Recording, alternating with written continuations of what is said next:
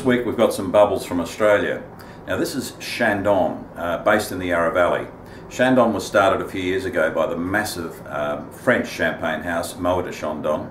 Um, started back in the 80s. Now this really is first class stuff. Uh, Chandon 2010 vintage. Again it's made with the three champagne varieties, Pinot Noir, Pinot Meunier and Chardonnay. Uh, they source this from some of the cooler climate regions of Australia, largely Tasmania these days, and really the quality of Australian bubbles is quite exceptional these days. These ones are made identically to the way they do it in France and in Champagne. It's secondary fermentation, it's in the bottle, uh, so it develops a lovely complexity. Look, it's not champagne, it's Australian sparkling wine, but look, for the price, I think it's superb. Uh, recommended retail around $40. This time of the year, you're certainly going to get it cheaper.